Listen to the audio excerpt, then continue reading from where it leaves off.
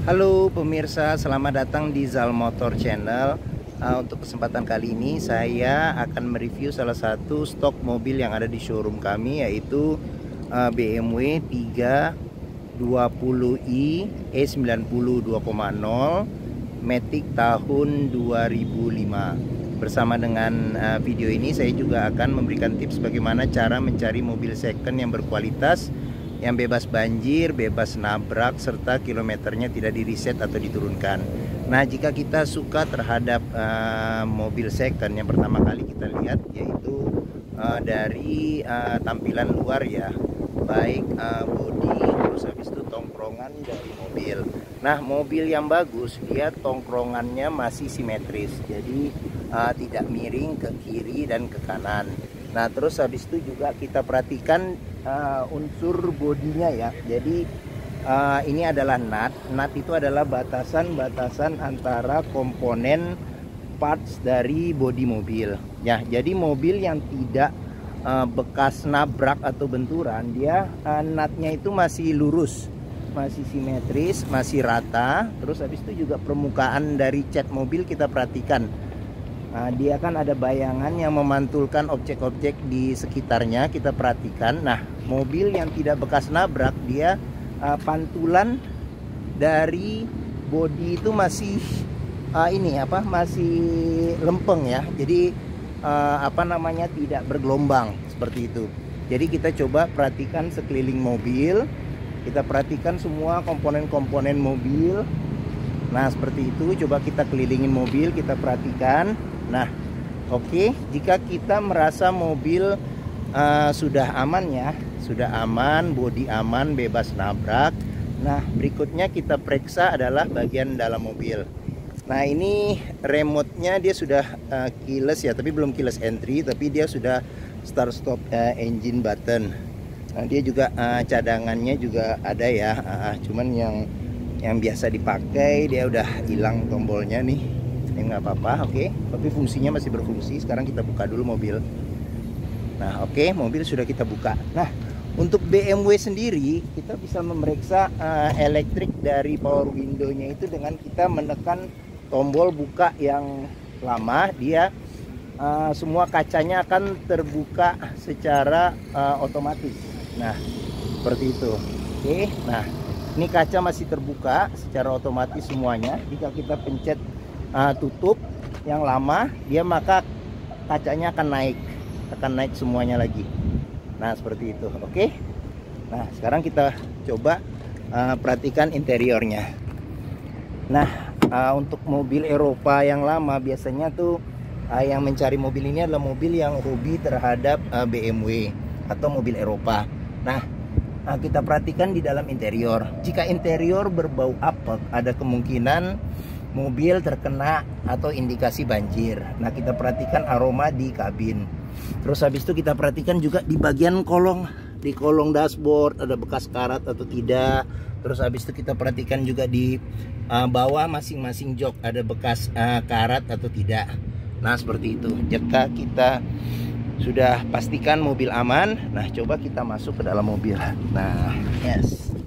Nah, BMW ini memang uh, terkenal dengan posisi duduknya yang ergonomis ya. Dan dia juga uh, tenaganya memang galak. Jadi uh, jika naik BMW bawaannya memang uh, apa namanya maunya ngebut seperti itu. Oke, sebelum kita nyalakan mobil kita periksa juga uh, bagian mesin apakah ada rembesan, terus habis itu juga apa ada bekas-bekas karat terus habis itu juga uh, apa namanya kaki-kaki juga periksa kita periksa juga. Nah setelah kita periksa kita rasa aman coba kita nyalakan mobil. Nah dia harus dimasukin ke dalam sini dulu nih. Nah dia sudah start stop uh, engine button. Jadi kita nyalain. Nah oke. Okay. nah uh, radio saya kecilin dulu volume radio. Nah. Nah oke. Okay. uh, jika uh, kita sudah nyalakan mobil, kita pastikan nyalanya itu jreng langsung. Karena apa? Karena kalau nyalanya tersendat-sendat, ada kemungkinan di, di akinya bermasalah atau dinamo starter. Nah, terus habis itu getaran yang masuk ke dalam mesin juga, eh, ke dalam kabin juga kita perhatikan. Uh, karena kalau getaran berlebihan, ada kemungkinan engine mountingnya sudah perlu diganti atau mesinnya pincang nah ini uh, mobil kilometernya di 107.000 ya. Jadi untuk mobil 2015 umur 16 tahun ya. Jadi pemakaiannya masih tergolong uh, sangat dikit. Nah untuk memastikan kilometernya itu sesuai kita perhatikan juga ada service record tidak di mobil. Nah di sini ada dia uh, apa? Servis oli kemarin di oh ini oli. Nah uh, ganti oli berikut ada di sini ya. Jadi uh, untuk uh, ganti persneling di 153.000 nah di sini ada untuk ganti oli berikutnya di 111.000 nah uh, di BMW ini juga masih lengkap. Jadi buku-buku uh, BMW nya masih tersimpan. Nah ini masih lengkap ya buku-buku semua. Buku-buku BMW nya masih lengkap. Nah oke jadi ini salah satu edit value jika kita mencari uh, apa mobil BMW yang yang lama. Seperti itu. Oke. Nah. Sip. Nah.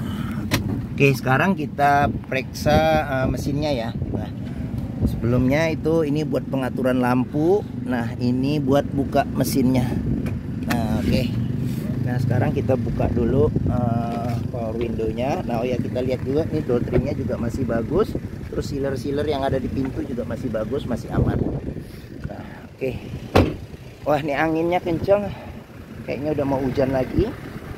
Nah, sekarang kita buka. Nah, sebenarnya untuk memeriksa kondisi mesin mobil yang bagus itu gampang sebenarnya. Kita lihat aja uh, suara mesinnya masih konstan atau tidak, terus kendaraannya berlebih atau tidak. Nah, BMW ini mengusung mesin uh, 2000 cc 4 silinder.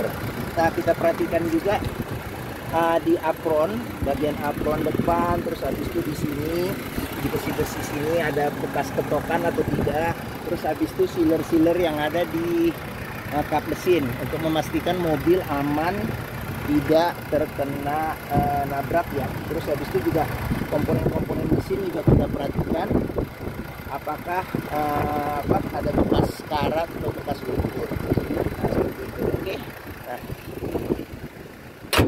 Oke, uh, jika kita mencari mobil yang uh, mewah ya, mewah yang masih bergengsi dengan harga yang relatif terjangkau, mungkin BMW 320i ini menjadi salah satu pilihannya karena bentuknya juga masih tidak ketinggalan ya masih uh, masih tetap uh, uh, up to date seperti itu. Oke, sekarang kita coba uh, lihat di baris belakangnya nah oke okay. nah saya tingginya 174 cm ini masih dapat legroom yang uh, lumayan lega ya masih berapa jari nih ya nah seperti itu nah headroom pun juga oke okay. nah jadi uh, apabila menggunakan driver juga masih masih cukup nyaman di belakang posisi duduknya juga ergonomis Nah di sini ada tiga uh, senderan kepala. Terus di sini ada, ah ini ada senderan tangan yang cukup besar, enak. Nah di sini juga ada cup holder yang masih bagus, masih bagus tidak patah. Oke. Okay. Nah di BMW ini juga ada ini ventilasi AC juga di sini. Ventilasi AC terus di sini ada buat asbak ya. Nah oke. Okay seperti itu plafon juga masih bagus terus joknya juga masih bagus ya masih rapi joknya sudah jok, jok kulit berwarna hitam nah oke okay. terus untuk door trim juga uh, masih masih oke okay, masih bagus terus sealer-sealer di pintu juga masih bagus nah dia untuk uh, ini pengisian bensinnya di sebelah kanan nah sekarang kita periksa bagasinya nah oke okay, sekarang kita buka bagasinya Nah, oke. Okay. Nah, uh, bagasinya cukup luas. Jadi untuk saya nggak tahu deh kalau stick golf masuk atau enggak. Kayaknya sih mungkin masuk. Nah, di bagian bawah sini uh, ada ruangan penyimpanan ya. Tapi dia tidak ada ban cadangan karena uh, uh, barunya dia uh, menggunakan ban RFT. Nah, di sini juga kita periksa sealer-sealer yang ada di uh, pintu bagasi. Terus di sini juga masih ada ini apa uh, P3K ya kotak P3K nah terus di sebelah sini buat toolkit toolkit sama aki di bawah sini. Oke nah masih rapi. Ini juga masih rapi oke. Nah sekarang kita periksa di sisi pintu sini. Nah door trim juga masih bagus masih aman. Sealer-sealer di pintu juga masih bagus masih aman. Nah ini tampilan dari sisi sebelah kiri. Nah terus ini tampilan dari dashboard ya. Dashboard dari belakang ya secara keseluruhan. Plafon juga masih bagus lampu-lampu masih berfungsi. Normal mobil juga tidak ada malfunctionnya. Nah ini juga kita periksa. Door trim masih aman masih bagus. Terus sealer-sealer di pintu juga masih aman oke nah ini tampilan dari sisi sebelah kiri. Nah oke. Sekarang kita masuk ke dalam. Nah ini kita perhatikan juga kulit jeruknya di setir juga masih bagus. Kulit jeruknya juga masih bagus. Nah ini di sini buat lampu sen ya sini lampu sen di sini wiper. AC juga masih dingin. Ini tombol start stop engine-nya. Ini buat masukin kuncinya. Nah di sini ini ada ngatur buat central lock. Ini lampu hazard nah dia tipnya sudah diganti dengan uh, ini kalau nggak salah nih ini Android ya. Android nah ini untuk pengaturan AC-nya digital auto climate ini kecepatannya Matic. Uh, dia sudah uh, Tiptronic ya. Nah ini ada buat buka. Gimana cara bukanya? Nah ini buat nah ya nah ini ada colokan.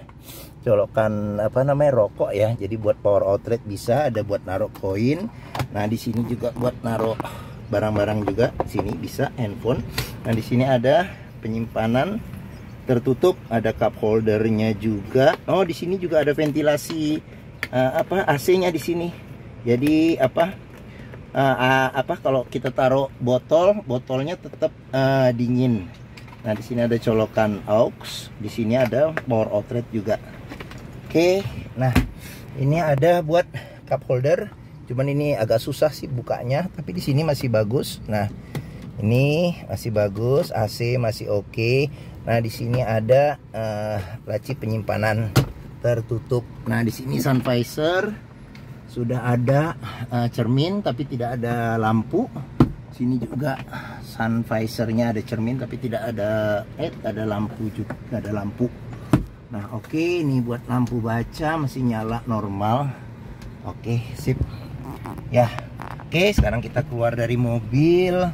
Uh, mungkin uh, ini saja uh, review mengenai uh, BMW 320i E90 tahun 2005 Matic jika berminat silakan hubungi Zal Motor nomor telepon deskripsi mobil harga mobil kami cantumkan di video ini nah terus uh, uh, ini hanya bisa tukar tambah ya tukar tambah boleh terus sama pembelian dengan cash.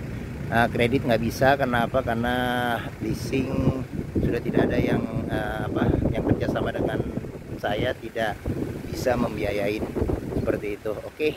Nah uh, apabila kita mencari BMW yang pertama kali kita perhatikan adalah uh, kondisi mobil ya walaupun harganya agak sedikit tinggi tapi uh, apa yang jelas mobil terawat. Karena apa? Karena mobil Eropa ini jika kita dapat mobil yang tidak terawat itu ada kemungkinan nanti akan menjadi bom waktu apabila kita membelinya.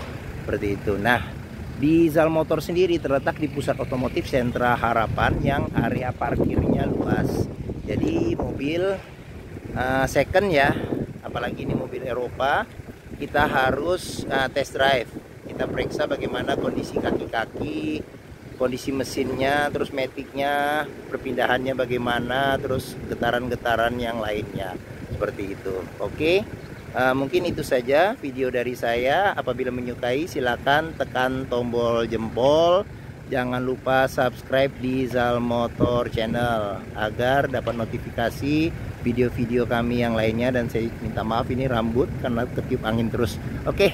Terima kasih dan sampai jumpa di video-video kami yang lainnya.